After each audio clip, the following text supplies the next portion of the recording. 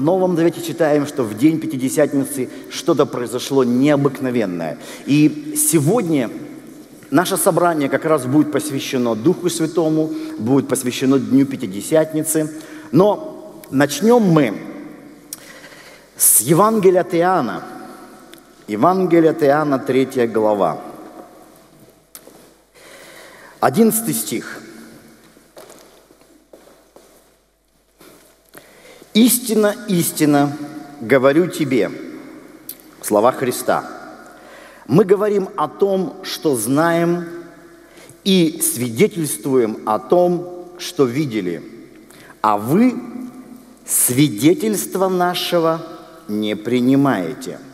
Я хочу вам напомнить, что эти слова Иисус сказал Никодиму, одному из религиозных лидеров Израиля, тайно пришедших к Иисусу, потому что открыто говорить о том, что э, ты интересуешься служением Христа в то время для солидных людей, для религиозных деятелей, это было компрометирующе. Вот поэтому он тайно пришел, чтобы у него разузнать что-то, расспросить что-то. Потому что у религиозных лидеров, драгоценные, какие бы погоны они не носили, все равно же есть жажда познать истину, познать Господа. Погоны религиозные, звания, как у меня там епископ, там, или архиепископ, или еще какие-то, но они ничего не дают. Они, конечно, дают позицию в церкви, но в плане Бога познания это ни о чем еще не говорит. И вот он пришел с вопросами, и вот смотрите, Иисус говорит ему, истинно говорю тебе, мы говорим о том, что знаем, и свидетельствуем о том, что видели. То есть то, что пережили, что знаем, что видели. А вы свидетельство нашего не принимаете. Если я сказал вам о земном, и вы не верите, как поверите, если буду говорить вам о небесном? Знаете, очень интересно, в философии существует такое понятие, как квалия. Квалио – это в переводе с латинского означает качество, свойство. Что такое квалио? Квалио – это такой опыт, философия говорит, что квалио – это такой опыт, который недоступен никому, кроме того, кто этот опыт непосредственно переживает. То есть квалио – это опыт, который переживает человек, и только он этот опыт может понять, потому что как бы он ни пытался этот опыт передать другому, он не может его передать, потому что опыт намного больше и слов, и каких-то понятий, которые есть в нашем разуме. То есть это то, что ты вот непосредственно непосредственно переживаешь. То есть квалио – это такой э, э, непередаваемый опыт, когда ты переживаешь нечто невыразимое твоим языком, вот что-то вот. И э, пример, вот как объяснить э, человеку, который никогда не видел, слепому, что такое, например, вот красный цвет или зеленый цвет. Вот я специально Э, взял э, кубик Рубика, да, с разными цветами, да, и вот мы понимаем, да, это какой цвет? Желтый, ты знаешь, видишь, это синий, это красный. А вот представь себе, рядом с тобой человек, который никогда не видел цвета. Как ты ему расскажешь, что такое красный цвет? Как ты сможешь ему передать это?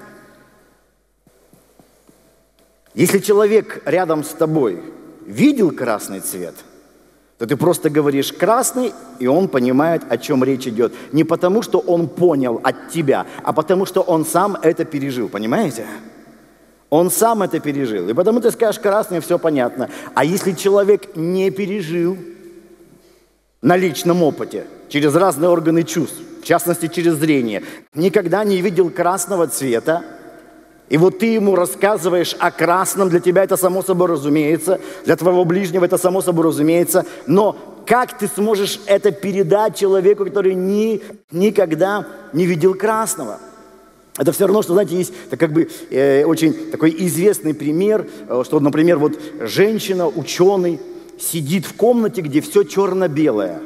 И все черно-белое. И у нее есть компьютер, там телевизор, и, и там тоже все черно-белое. При этом эта женщина-ученый, находясь э, в этом черно-белом мире, изучает о цветах, о том, какие-то там это разные волны там зрительные, и как там глаз воспринимает цвет. То есть она знает все теоретически о том, что такое цвет с точки зрения физики.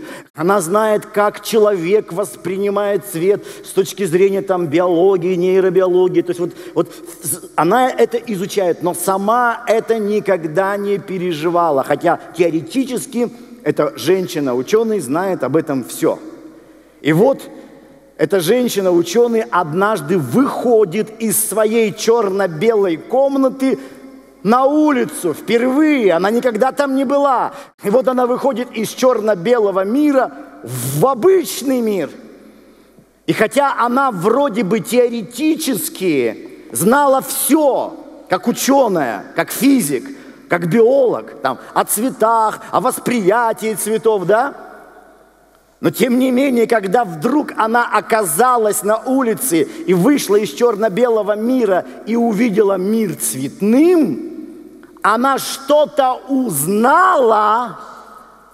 И вопрос в том, а что же она узнала-то? Ведь она теоретически знала и раньше о цветах, о восприятии людьми цветов. То есть она теоретически знала все. Но когда она увидела, она что-то еще узнала. И вот как раз вот это что-то еще и называется квалио. То есть она э, пережила это лично а не просто знала об этом теоретически. То есть она это пережила. Вот. И что она пережила по большому счету? А? Как понять, что она пережила?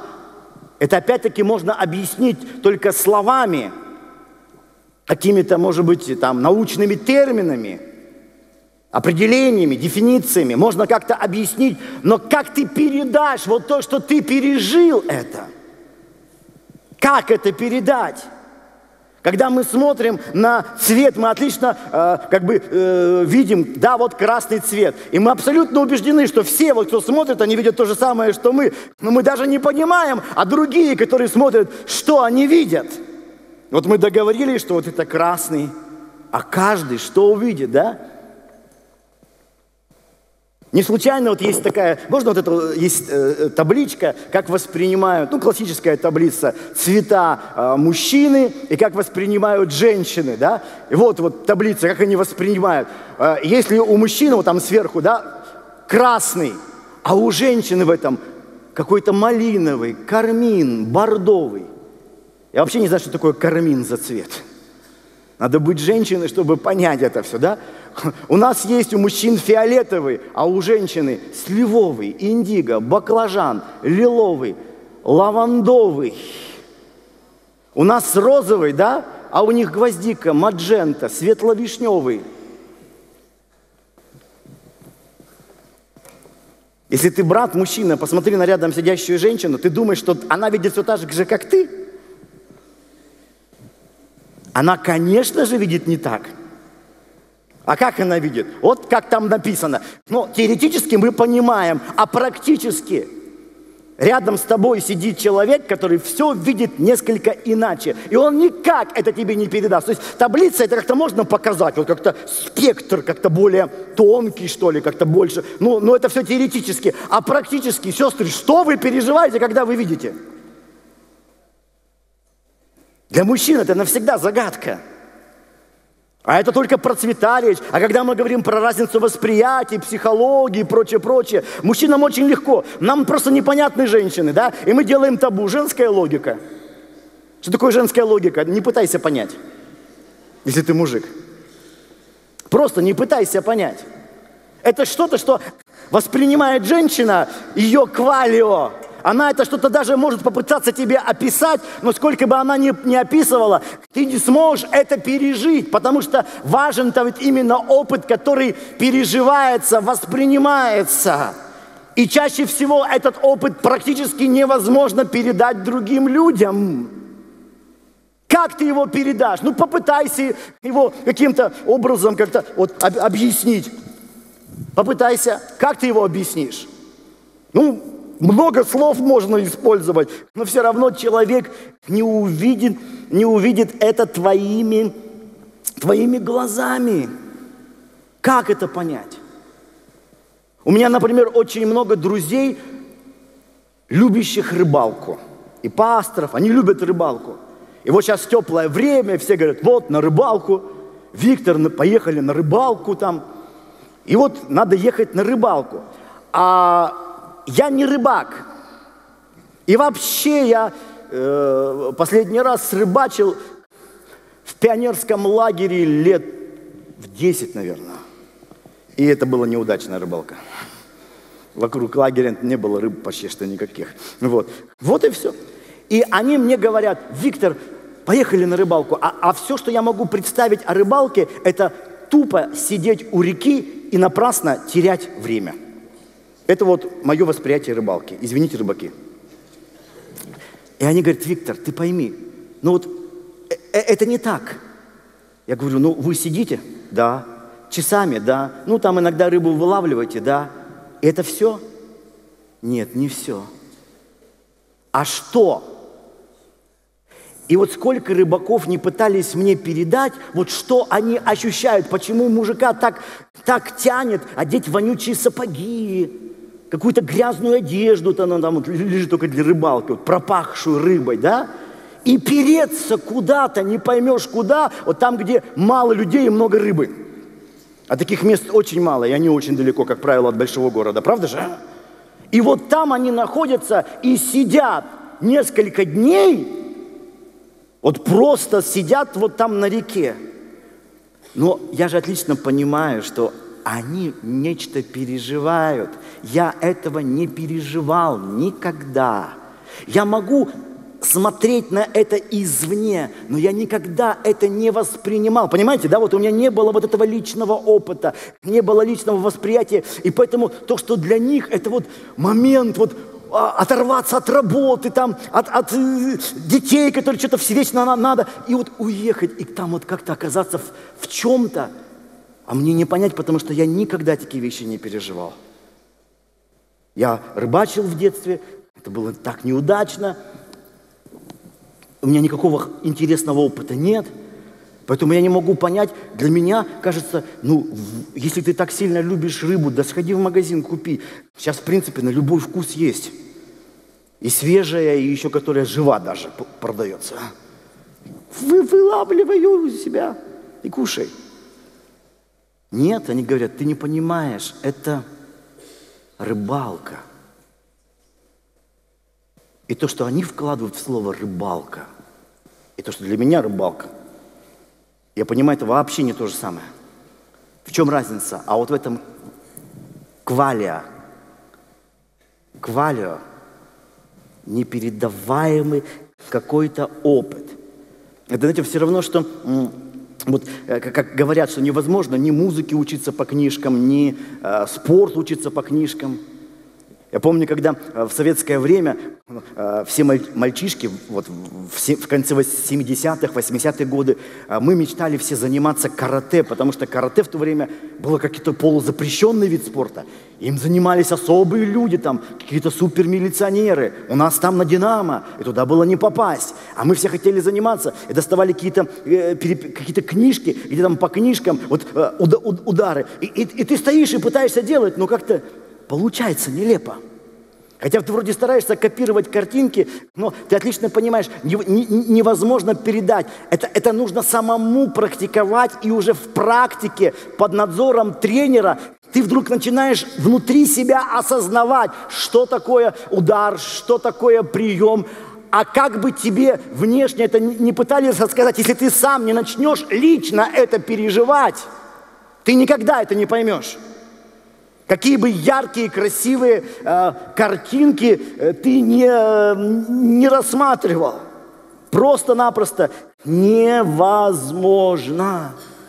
Поэтому я так люблю рассказывать эту историю, когда я впервые оказался за границей, это был Израиль, 93 год, и в то время, когда э, вот только еще недавно вроде бы распался Советский Союз, и время действительности с точки зрения материального, материальной жизни было непростым. Вот. И оказавшись в Израиле, я впервые попробовал то, что до этого не просто не, не пробовал, я даже не знал, что это существует. Например, э, я там впервые попробовал йогурт и киви. А когда мы, мы ходили на, на завтраки, на ужины, йогурт и киви. я помню, я когда попробовал йогурт впервые в жизни, мне он так сильно понравился. И киви, так, там оно было такое вкусное, такое спелое. И киви, оно не совсем даже походило на те киви, что у нас продаются в магазинах. Вот, оно было спелое, оно не дозревало по пути из Израиля в Россию. Вот. И оно уже там созрело. Я вот приехал и говорю, Диана – я в Израиле, он говорит, ну рассказывай, там святые места, стена плача, гроб Господень. Я говорю, да это все слава Господу. Но было еще что-то, чего я вообще не знал до этого. Я говорю, мы там ели йогурт. А тогда у нас в Советском Союзе не было вообще йогурта. И мы ничего не знали про йогурт. Ну не было, ну кто-то, может быть, и знал. Но это не я. И не в нашей семье. Я даже не знал. Вы знаешь, говорю, такой продукт – он как бы вроде бы из молока, но как на вкус, я не знаю, как его даже тебе передать. Как рассказать, какой йогурт человеку, который никогда не пробовал йогурт? И ты пытаешься сразу же вот что-то, какие-то аналогии проводить с теми продуктами, которые человек пробовал. И ты начинаешь говорить, вот, а что у нас было тогда из молочки похоже? Был снежок, была ряженка. Помните, да? Вот, ну, что, что больше всего проходило? Снежок и, и, и ряженка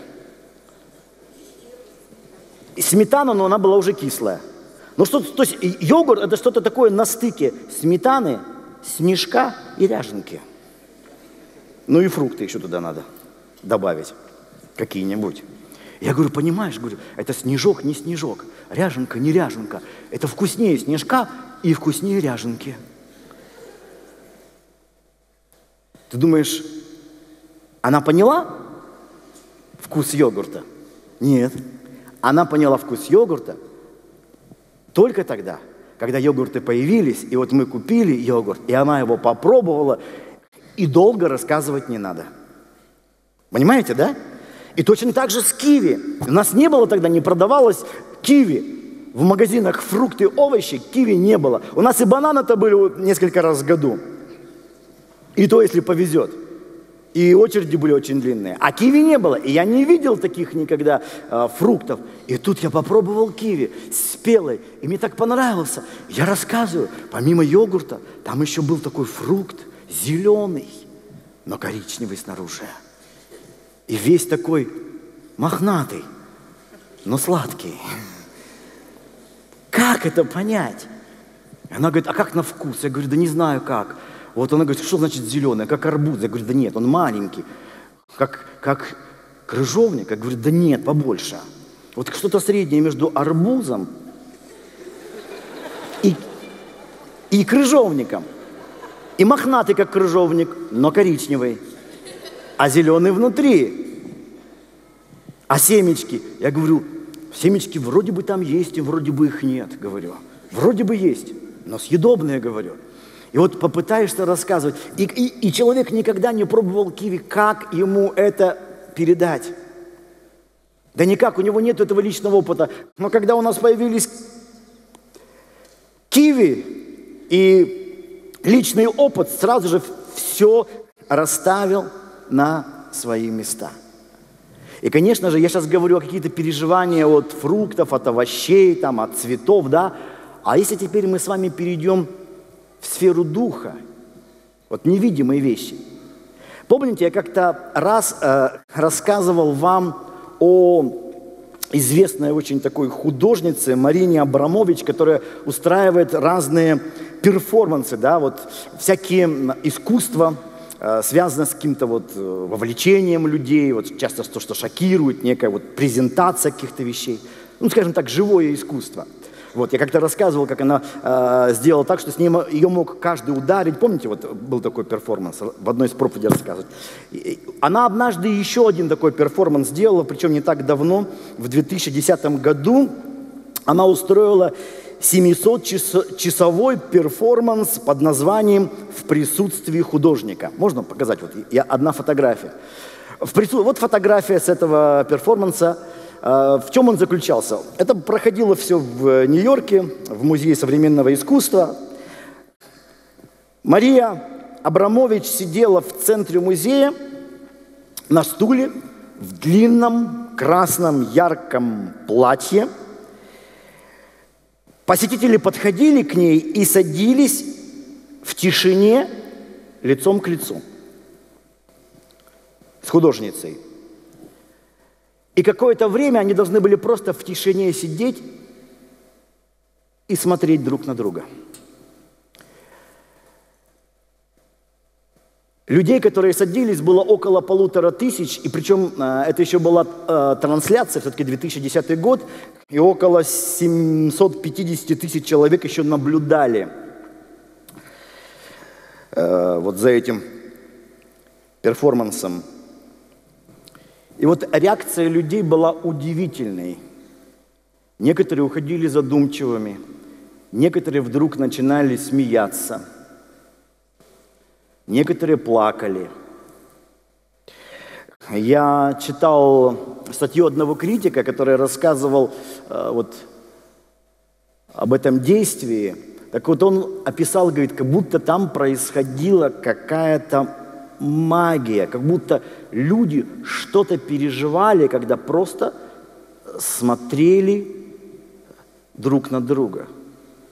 Я думаю, что э, в жизни каждого из нас были какие-то подобные вещи. Вот у вас бывало так, что вот вы встречались с глазами, а бывало вот, что вот вы не просто встречались глазами, а вот встречались глазами. Бывало у вас так?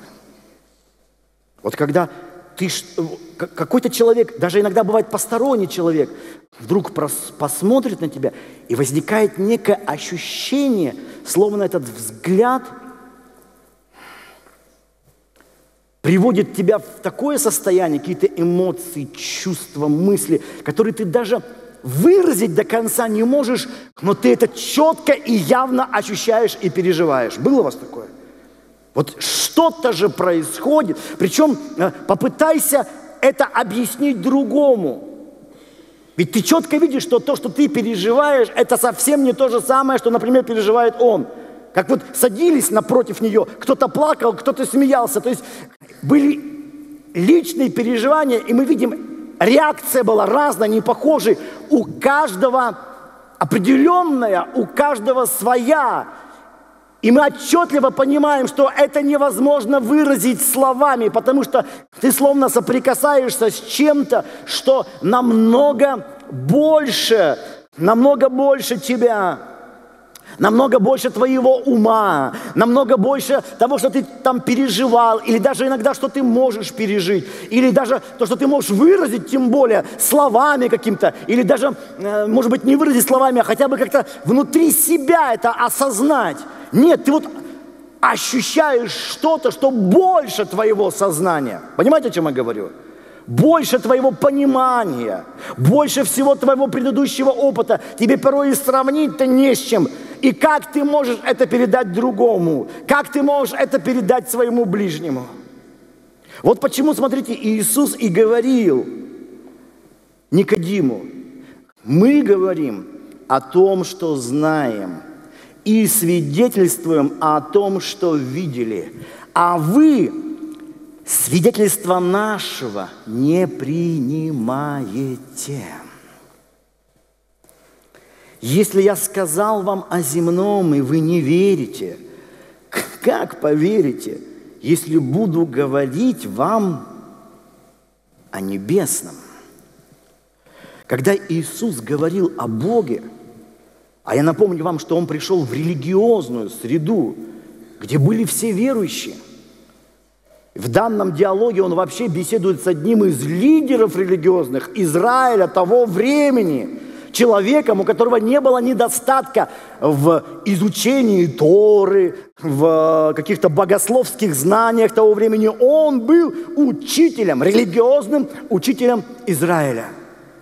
И этому религиозному учителю, который наверняка мог очень много чего рассказать о Боге, поскольку он этому специально учился, этому знатоку Иисус и говорит, что разница, разница в том, что мы говорим о том, что знаем, мы свидетельствуем о том, что видели. А вы не принимаете нашего свидетельства, потому что у вас его нет. Вы это не видели – вы это не переживали. Для вас это просто чьи-то слова. Они могут убеждать кого-то, а кого-то не убеждать.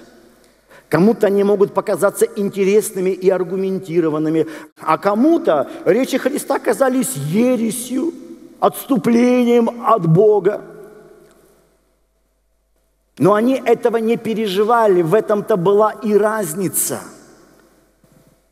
Христос переживал это.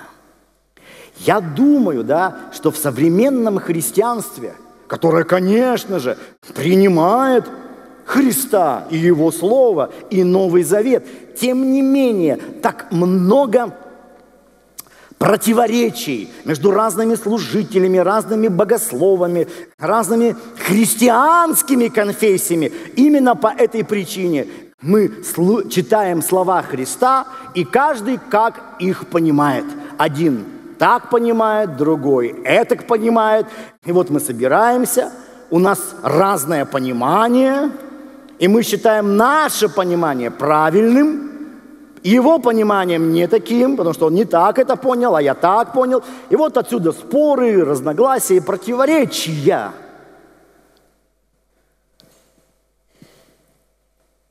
Потому что восприятие идет чисто умом, как информации. Вот ин, мы воспринимаем из Евангелия информацию. Вот Иисус так сказал, вот Он то сделал – Но Иисус показал нечто большее. Он показал, что вот есть что-то, что можно самому пережить. И когда ты сам переживаешь это, тебе становится понятным, о чем говорил тот человек, который переживал что подобное. В этом-то и проблема, почему так многие люди не воспринимали Иисуса. Вот э, в седьмой главе Евангелие от Иоанна, 16 э, стих, смотрите. Иисус отвечал им и сказал, «Мое учение не мое, но пославшего меня. Кто хочет творить волю Его, тот узнает о сем учении, от Бога ли оно, или я сам от себя говорю». То есть понять то, что говорил Иисус, можно только если ты переживаешь это – не просто ты узнал об этом, а ты переживаешь. Он говорил, что э, кто хочет творить волю Его, да, когда ты стремишься познавать Бога, тогда ты начинаешь понимать свидетельство Иисуса. Но если нет вот этого духовного познания, нет духовных переживаний, для тебя просто это набор слов, умных, может быть, непонятных, аллегоричных, но просто лишь информация. Ты просто воспринимаешь слова, но ведь мы понимаем, что за словами Иисуса стояло что-то большее, чем просто учение какое-то. Не случайно, когда, помните, э, Пилат задал свой знаменитый вопрос, вот даже можно картину Ге показать, да, знаменитый, э, знаменитый вопрос, когда э, Пилат спросил у Иисуса, который, когда привели Христа на суд, да, что есть истина? И вот классик хорошо изобразил, вот философствующий Пилат задает вопрос, что есть истина? Ответа не было. Почему? Да потому что Христос отлично понимал, что на этот вопрос невозможно дать вот какой-то словесный ответ. Мы все ищем истину в каком-то вербальном выражении. Вот нам скажи правду, и мы в нее поверим. А Христос понимал, что это не то. Самое, наверное, лучшее, что, как он попытался это выразить, это сказав однажды «Я есть им путь истинной жизни». Показав, вот, что истина – это не что-то, что вот можно передать даже другому, а это то, что переживается внутри себя. Путь истины и жизни.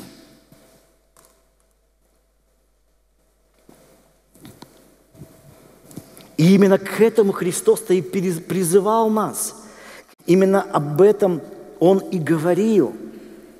И мы видим это и в служении Христа, мы видим это в служении апостолов.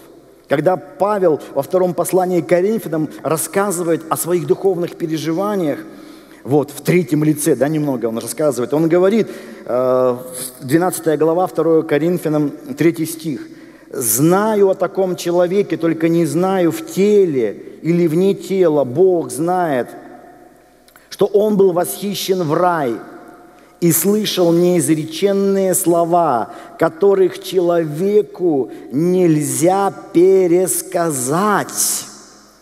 Нельзя. И вот это слова неизреченные, это греческое слово «аретта». «Аретта» дословно невыразимое, неописуемое. То есть переживание чего-то, что ты выразить, описать не можешь, потому что это превыше твоего ума. Как ум может выразить то, что больше него? Как стол может выразить столяра? Как, как, как вот стол может вот показать, э, столер, создавший стол, больше – Стол может соприкасаться с руками мастера, но как он может понять своего Творца? Точно так же наш разум, как он может понять своего Творца и еще выразить его другим, чтобы понятно было? Что же нам остается? А вот именно это личное восприятие, личное переживание, переживание Бога, пребывание, пребывание в Боге – я думаю, не случайно люди так любят искусство, потому что вот что делает искусство? Искусство, оно словно расширяет возможности нашего общения. И то, что порой невозможно сказать словами, можно выразить через музыку. Или, например, через поэзию, через живопись. Можно выразить или через э, кино,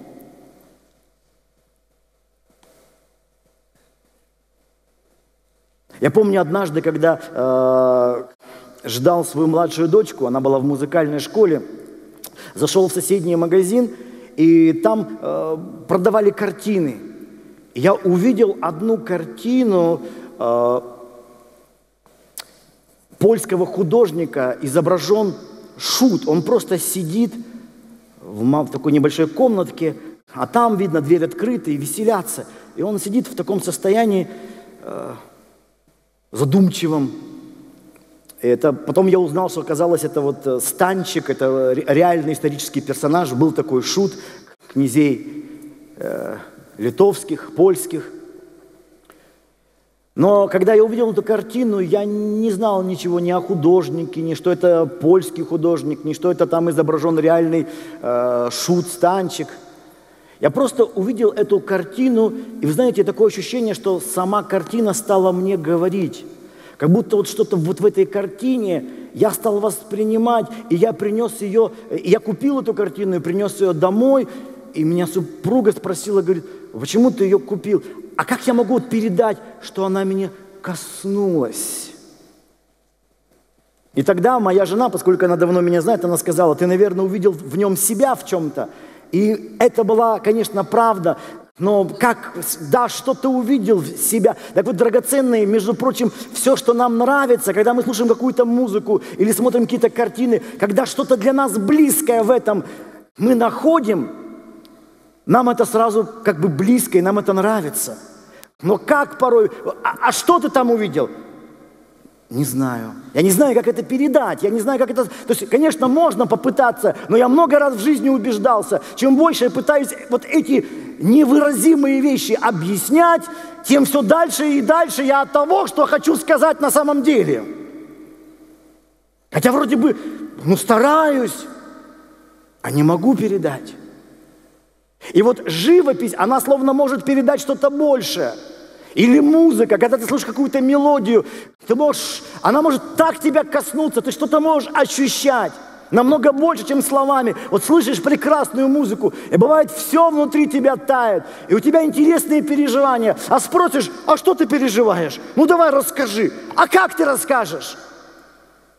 И мы начинаем, ну как-то мне вот хорошо, приятно, так вот романтично. И мы пытаемся находить какие-то эпитеты, но при этом отлично понимаем, что они никогда до конца не отразят то, что внутри у нас происходит, когда мы слышим что-то, что нам очень-очень нравится. Потому что это вне слов. Понимаете, о чем я говорю, да? Живопись. Но есть то, что не только нельзя словами передать, это невозможно передать ни музыкой, это невозможно передать живописью, невозможно вообще передать каким-либо искусством. То, что происходит в самой глубине, на уровне духа. Я недавно одно стихотворение читал Жуковского, нашего классика. И я кусочек этого стихотворения хочу вам прочитать. Когда душа сметенная, сметенная полна пророчеством великого видения и в беспредельное унесена, стирается в груди болезненное чувство. Хотим прекрасное в полете удержать, на пере, э, ненареченному хотим название дать, и обессиленно безмолвствует искусство.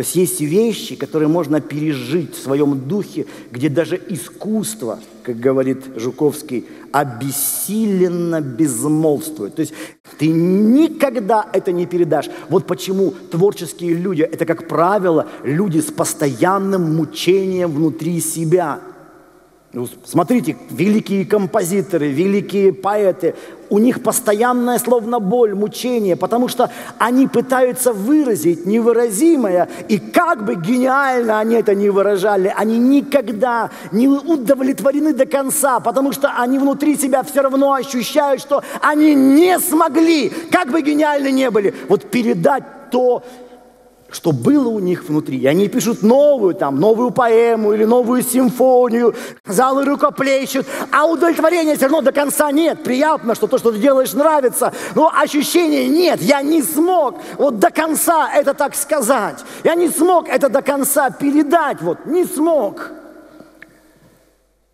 Словно вот что-то вот есть вот важное, что я хотел сказать, а не получилось.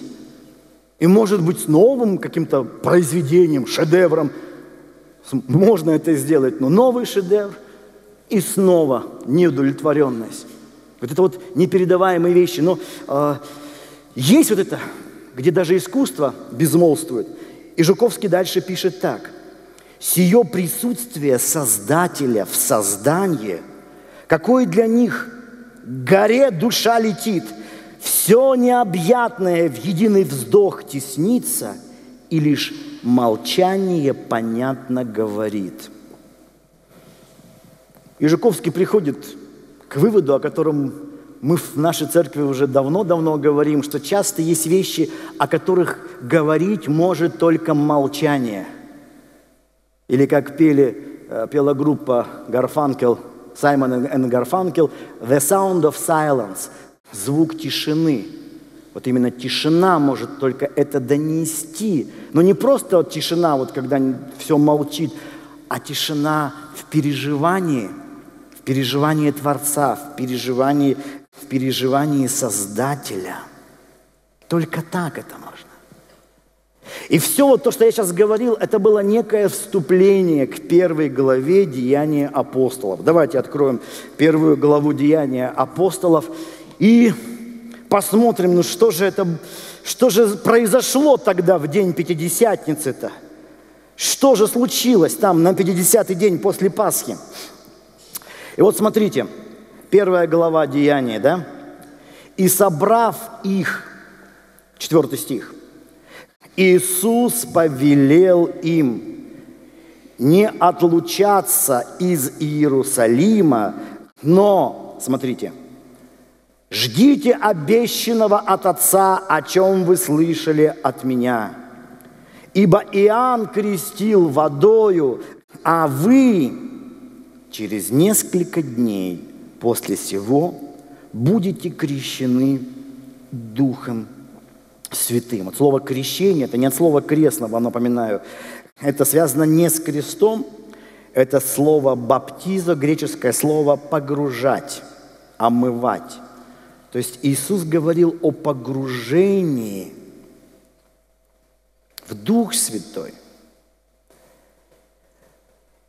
И вот смотрите, шестой стих. «Посему они, сойдясь, спрашивали, спрашивали у него, говоря, не все ли время, Господи, восстановляешь Ты царство Израилю?» Он же сказал им, «Не ваше дело знать времена или сроки, которые Отец положил в своей власти – Верующим всегда интересны какие-то сроки, когда вот восстановление царства, когда конец света. Нам, нам даже иногда кажется, что вот знание будущего – это и есть духовность в чистом виде. Вот такое. Прям нам так все интересно. Все нам это важно разузнать-то. Иисус говорит, не ваше время, не ваше дело знать времена и сроки. Но, восьмой стих, вы примете силу, когда сойдет на вас Дух Святый, и будете мне свидетелями в Иерусалиме и во всей Иудее и Самарии, и даже до края земли. Сказав сие, он, поднял, э, он поднялся в глазах их, и облако взяло его, взяло его из вида их. И вот посмотрите,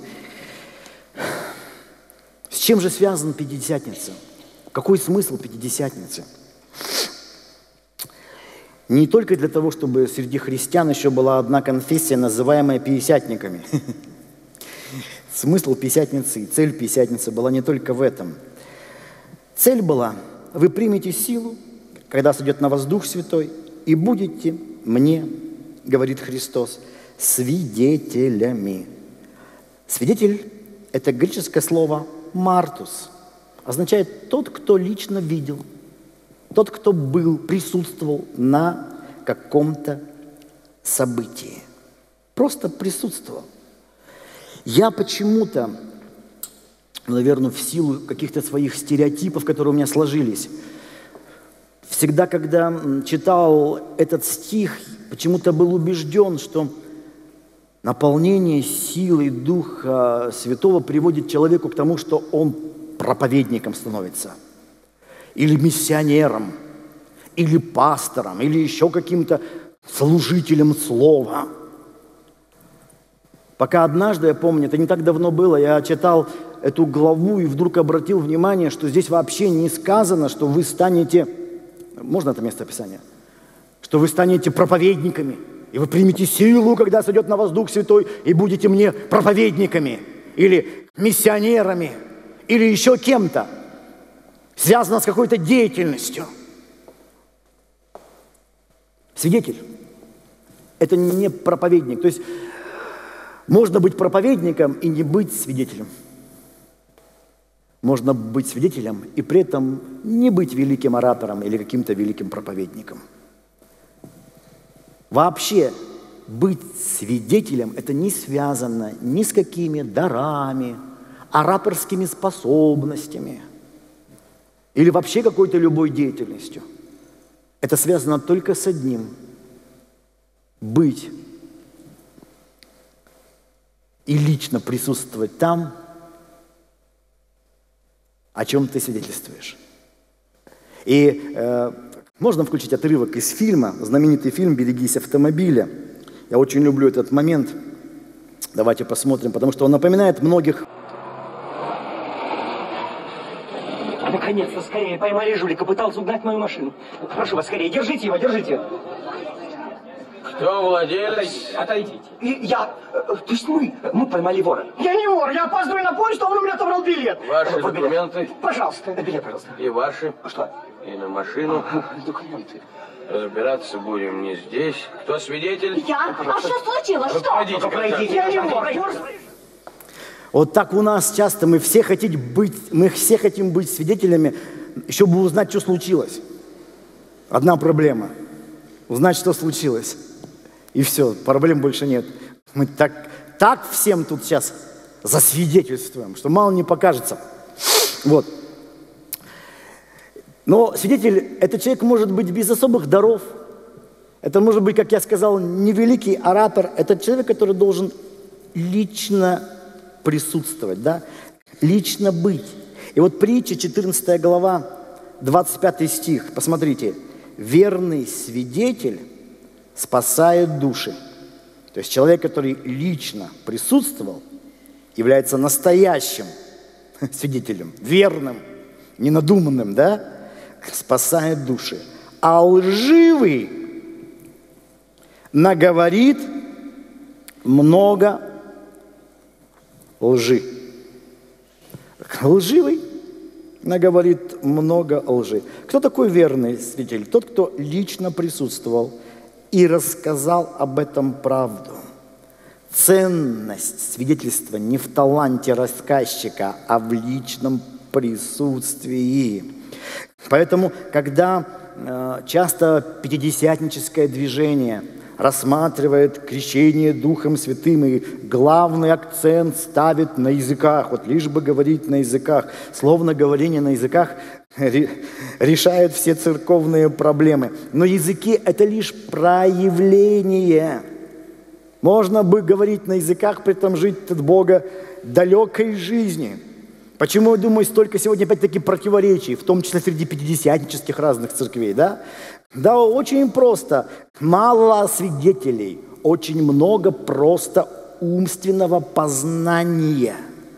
Бог же желает, чтобы мы были свидетелями. Причем, заметьте, не просто людьми, которые свидетельствуют, а сами быть свидетелями. То есть быть таким живым свидетельством. Или, как говорит апостол Павел, письмом Христовым. Вот быть таким человеком, как святой Силуан говорил, я не верю в Бога, я, я знаю Бога.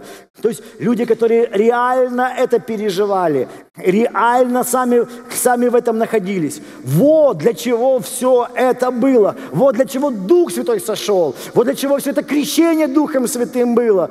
Чтобы как можно больше людей принимали эту силу и становились Его свидетелями свидетелями. Не просто людьми, которых так научили. Вот э, одних так научили э, баптистским доктринам, других научили пятидесятческим доктринам, третьих там научили э, каких-то адвентистским или методистским доктринам. Вот мы все знаем свои доктрины, собираемся, и один не прав в этом, другой не прав в том. Все знаем. И нам непонятно, о каком единстве говорит Христос, потому что никаких человеческих предпосылок для единства внутри Церкви Христовой нет. Чем дальше, тем больше мы расходимся друг от друга. Один так думает, другой так думает. Наши мысли обрастают доктринами, библейскими подтверждениями. Люди слушают и не слышат друг друга. Мы говорим друг с другом, словно на разных языках. И так и будет всегда, потому что по-человечески сколько людей, столько и мнений. И никак к этому не прийти, вот к общему знаменателю. И выход я вижу только один, о котором говорил Христос. Это вот личное переживание, потому что, хотя им невозможно поделиться, но оно словно приводит тебя к осознанию того, что Христос в тебе, Христос в твоем ближнем. И мы признаны это нести. И об этом легко сказать, и понять это несложно. Но совсем другое, когда вот это выражение «Христос в тебе» и «ты во Христе», ты переживать начинаешь внутри себя. Когда ты начинаешь внутри себя это переживать, ты можешь много об этом говорить, но ты до конца никогда это не скажешь. Вот почему я однажды, когда молился, говорю, Господи, а что же я могу сделать, если я никому ничего не смогу рассказать? И я вдруг понял, а единственное, что я могу сделать, это только вдохновлять и побуждать людей, потому что передать непередаваемое нельзя. Сказать о невыразимом невозможно. Можно только побуждать и говорить, что каждый ищущий, вы можете пережить в Боге то,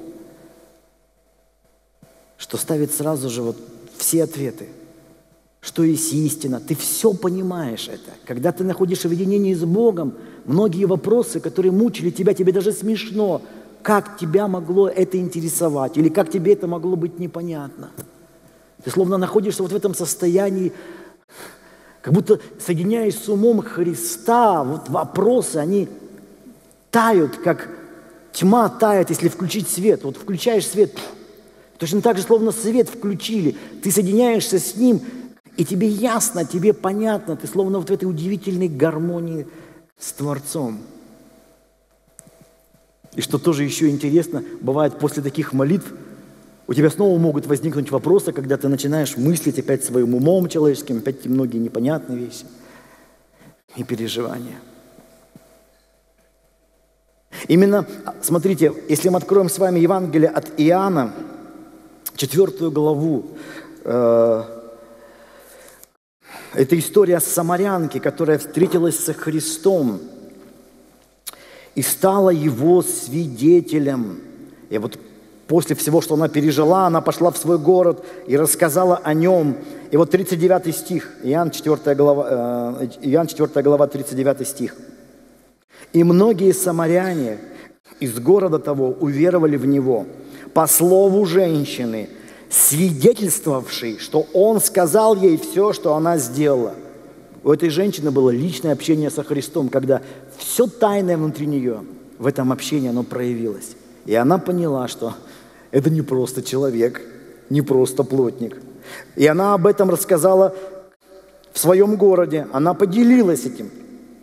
И вот люди, смотрите, говорят, что э, уверовали по его слову, и потому, когда пришли к нему самаряне, то просили его побыть у них. И он пробыл там два дня.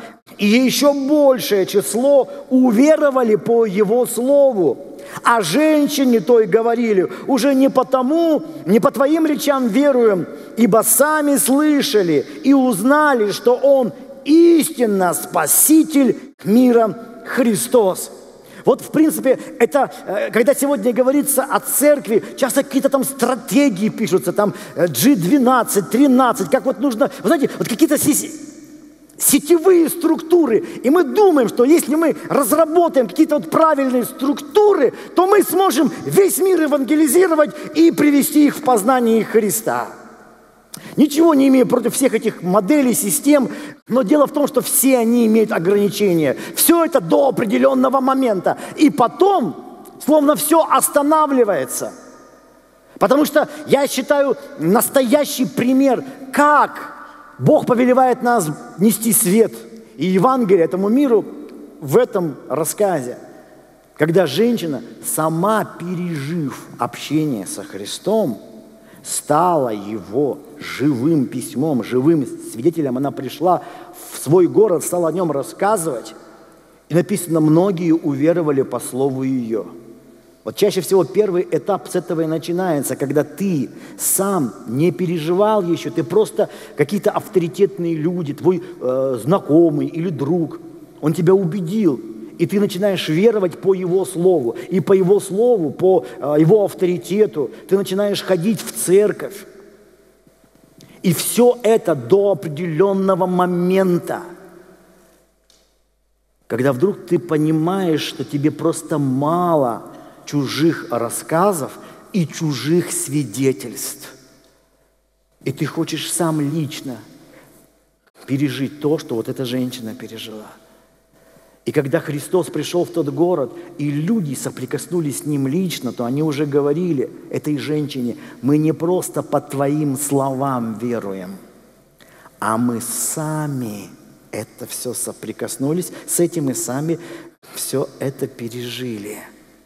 И наступает второй этап, когда ты уже веришь не по чьим-то словам, а эта вера очень ненадежная, потому что приходят сомнения, кто-то скажет еще более авторитетный, да ну, это ерунда, и у тебя меняется мнение. То есть вот это просто вера, основанная на убеждении, на доказательствах. Вот для меня э, аргументирование, то, что Бог есть, я в это верю. А через некоторое время стало более аргументировано, что Бога нет. И я перестал в Бога верить и уже не хожу в церковь. Вот это на уровне разума, аргументов. А мысли меняются, взгляды меняются, наше мнение там очень быстро меняется. Здесь же что-то другое. Когда человек пережил это внутри себя, в своем сердце, он даже, может быть, сам до конца это выразить не может. Не то, что там кому-то что-то объяснить или доказать. Но для него это внутреннее переживание является самым главным. Уже не по твоим словам веруем. Сам, сами соприкоснулись с этим, сами пережили – сами внутри себя встретились с Ним. И это наше призвание с вами, чтобы мы шли и говорили людям, и они по нашим словам будут веровать, мы их будем убеждать. Но цель, чтобы не просто они уверовали по нашим словам и стали ходить в церковь, но лично встретились со Христом, лично это пережили – для этого и было крещение Духом Святым. Вы примете силу, когда сойдет на вас Дух Святой, и будете мне свидетелями. И опять-таки это невыразимые вещи, но они есть здесь. Это самое важное, что вообще нас соединяет и наполняет нашу духовную жизнь. Это личное переживание со Христом. И если Иисус и говорил, смотрите, еще об истине, вот в этом же Евангелии от Иоанна – и он очень много пишет именно о личных отношениях с Богом. Вот смотрите, в Евангелии Иоанна, мы смотрели 14 главу, 4 а, а, главу, еще 14 главу посмотрим. И вот в 16 стихе Иоанн говорит, э, точнее, Иоанн передает слова Христа. «И я умолю Отца, и даст вам другого утешителя, да пребудет с вами вовек, Духа истины, которого мир не может принять, потому что не видит его и не знает его, а вы знаете его, ибо он с вами пребывает и в вас будет. Свидетель видит и знает, а не просто от кого-то слышал и другим передает. И чтобы быть таким свидетелем, Иисус говорит, вы примете Духа истину – то есть это происходит познание истины за пределами слов. Если вы думаете, что это возможно передать, что такое истина, сейчас я тебе скажу. Ну ты можешь много чего умного наговорить, но толк-то какой? Истина не постигается просто нашим разумом. Истина, она переживается, когда вы примете чего? кого? Духа истины. Он с вами пребывает и в вас будет. И когда ты принимаешь Духа истины, словно вообще вся правда, она раскрывается перед тобой о том, что происходит вокруг, как все, как все, как все устроено. И ты знаешь, что никогда до конца ты в это не можешь проникнуть своим разумом. Ты можешь просто это переживать внутри себя. Это тот непередаваемый, невыразимый опыт духовной жизни с Богом – для людей, которые это не переживали, им это смешно может быть. Они могут говорить, что это ненаучно. Они могут говорить, что ты сам себе это все придумал и сам себя во всем этом убедил. Но когда ты переживаешь это, ты четко осознаешь, что то, что ты переживаешь, оно намного реальнее, чем все, что ты здесь видишь и слышишь.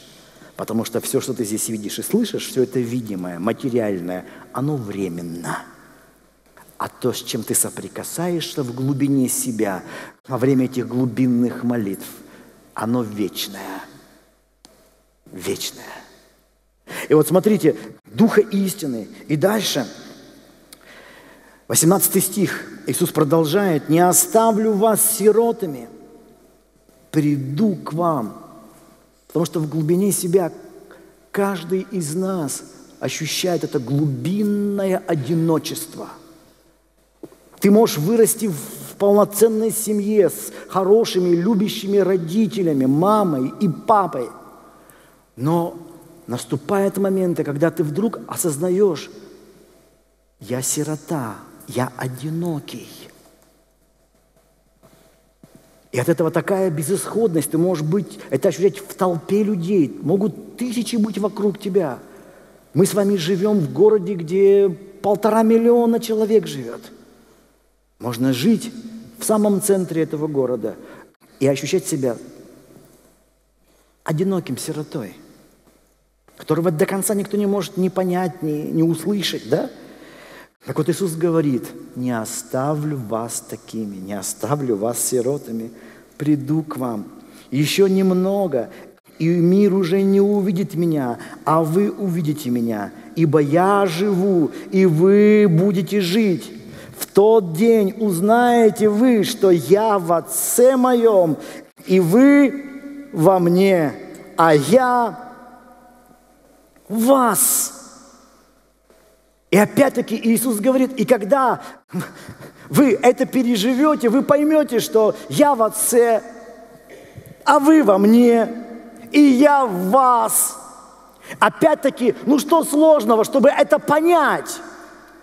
Иисус в Отце, мы во Христе, Христос в нас.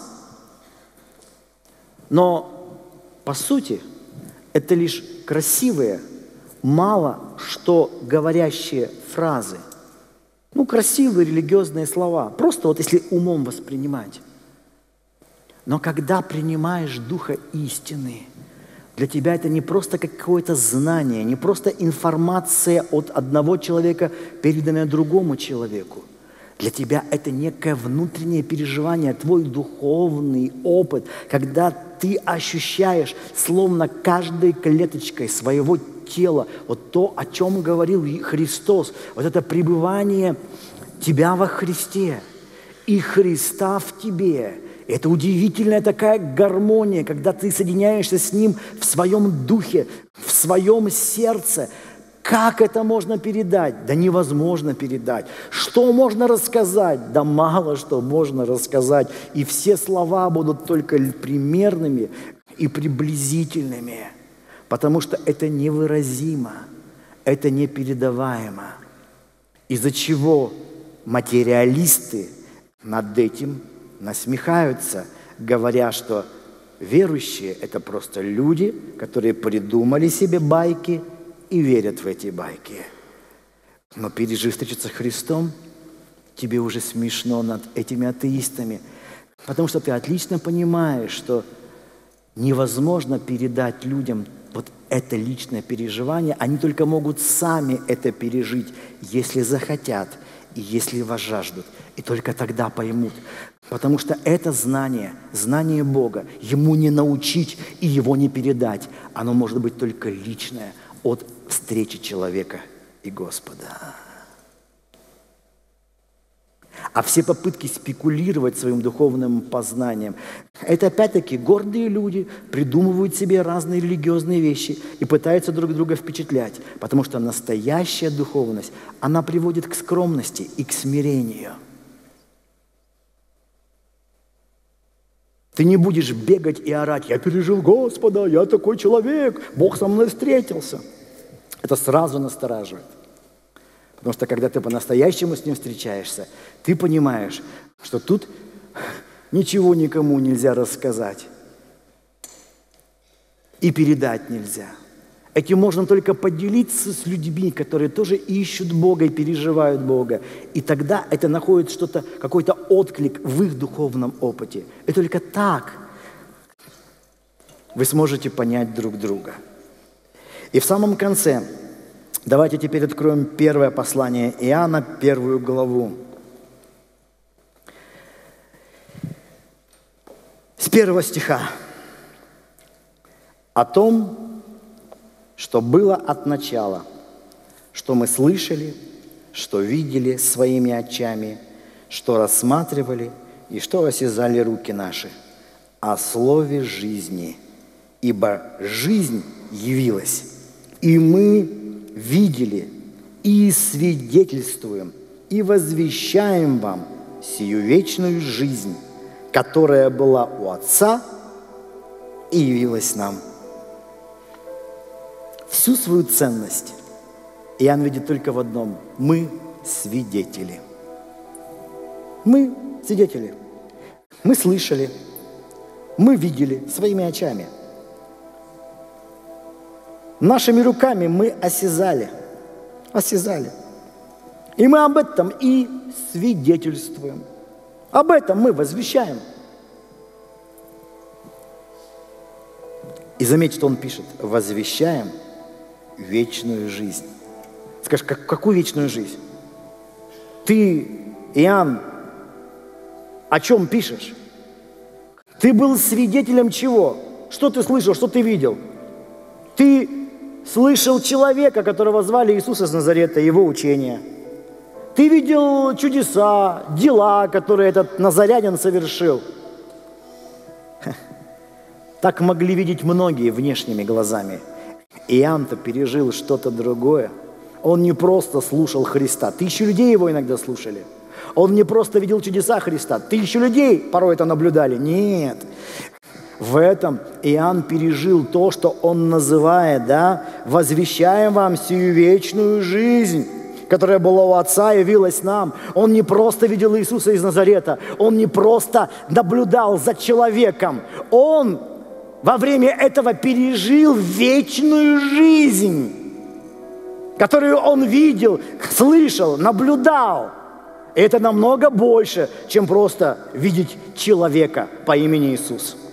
Намного больше. И он говорит, об этом я, мы и возвещаем вам, э, о том, что мы видели и слышали, возвещаем вам, чтобы и вы, смотрите, имели общение с нами. А наше общение с Отцом и Сыном Его Иисусом Христом.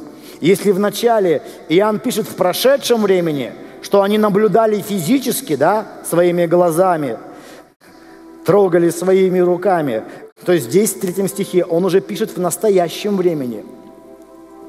Иисус ушел, он был распят, он воскрес, и он вознесся. А их общение с Отцом и Сыном Его Иисусом Христом – продолжалось. Физически Христа не стало с ними, а вот эта вечная жизнь, которую он переживал, наблюдая за служением Христа, осталась и после его вознесения. И его общение с вечным Богом осталось точно таким же интенсивным. Именно в это общение Иоанн и приглашает всех нас. Говорит, давайте пойдем туда. Вот в это общение. В этом суть и смысл Пятидесятницы. Вы примете силу, когда сойдет на вас Дух Святой, и будете не просто говорить на иных языках, там молиться, петь духом, петь умом. Даже из этого люди наделали споров в дальнейшем – вы примете силу, когда сойдет на вас Дух Святой, и будете мне, говорит Христос, свидетелями. Свидетелями.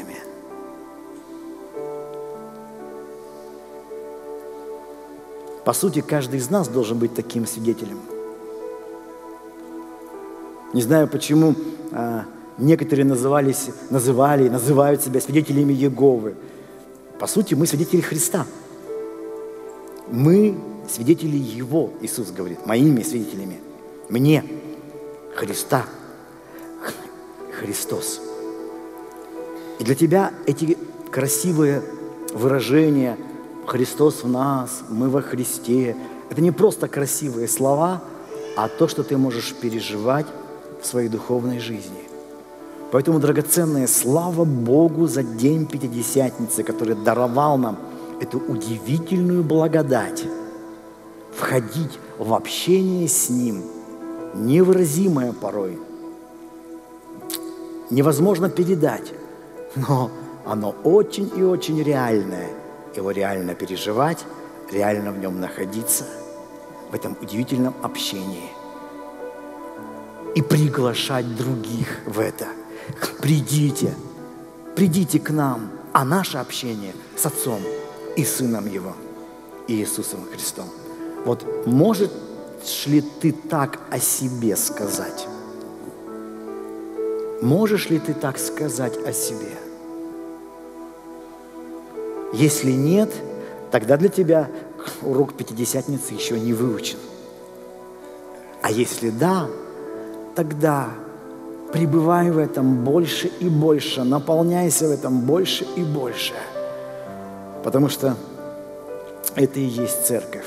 Люди, наполненные невыразимым, непередаваемым опытом общения с Богом, что делает их свидетелями Господа Иисуса Христа. Именно это свидетельство, я верю, привлекает души, привлекает сердца, потому что это не просто какая-то религия, доктрина, которая каждый толкает, пытается продвигать свои доктрины, свои какие-то учения. Не, не. Это намного больше. Это взаимоотношения с Богом. А в этом нуждаются все. Давайте сейчас закроем глаза и склоним головы.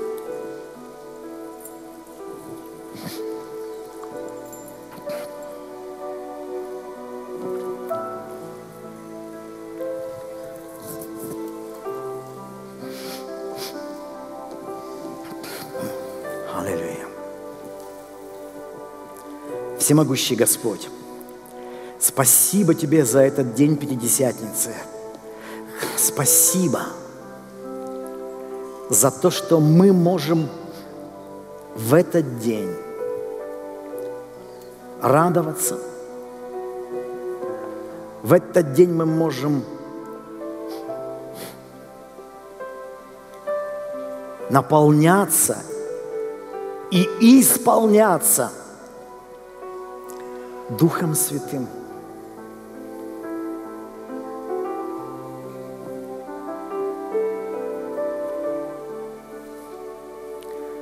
В этот день стало возможно то, что мы принимаем сил для того, чтобы лично, непосредственно переживать единение, общение с Тобой, Господь ради которого ты и пролил свою кровь и отдал свою жизнь, взяв все, что мешает, все грехи, все беззакония.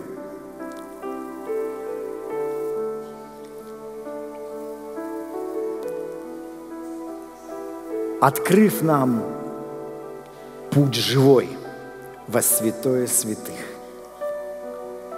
Я молю, мой Бог, благослови каждого из нас – чтобы мы шли по этому пути, пути Бога познания, чтобы мы стремились, Господь, к этому внутреннему единению с Тобой, к наполнению Божие.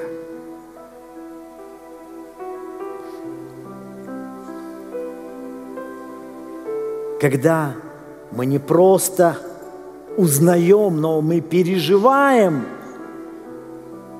переживаем то, что мы в тебе, а ты в нас. Мы во Христе, а Христос в нас. Спасибо тебе за Духа истины, который сегодня в нас пребывает. Духа истины,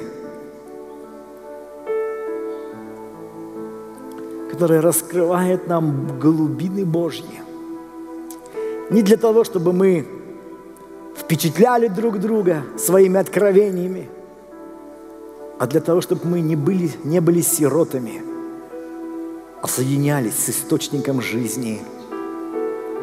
Потому что только в этом единении сиротство уходит, одиночество исчезает. Когда мы едины, едины с Тобой, то вокруг нас атмосфера Божьего Царства, праведность, мир и радость в Духе Святом. Спасибо тебе, Иисус. Я молю сейчас за каждого человека, кто, может быть, недавно ходит в церковь и ходит сюда по чьим-то словам, которые его убедили. Ходит по чьим-то словам. Я молю, мой Бог, коснись их, чтобы они уже не просто веровали по словам чьим-то, а сами соприкасались с Тобой, чтобы их вера основывалась не на тому, что, чему их научил кто-то, а на личном пережитом опыте общения с Богом. Благослови Господь.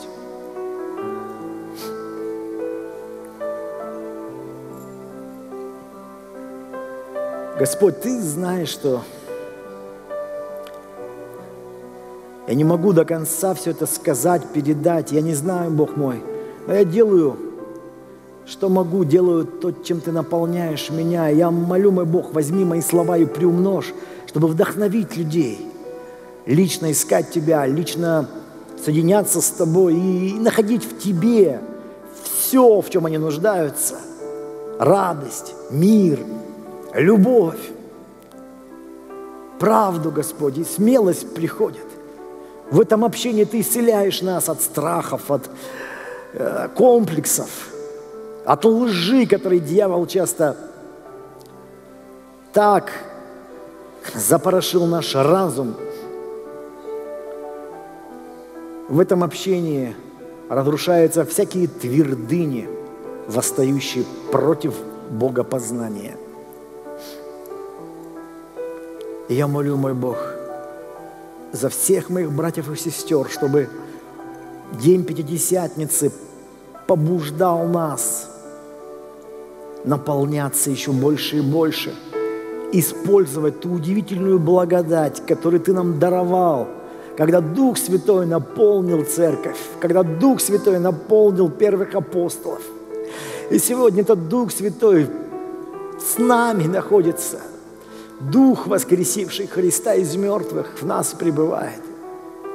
Я молю, чтобы очи нашего сердца были просвещены, чтобы мы учились не просто слушать людей, пасторов, проповедников, мы учились лично, Господь, общаться с Тобой, наполняться Тобой, видеть, слышать, осязать в наших молитвах,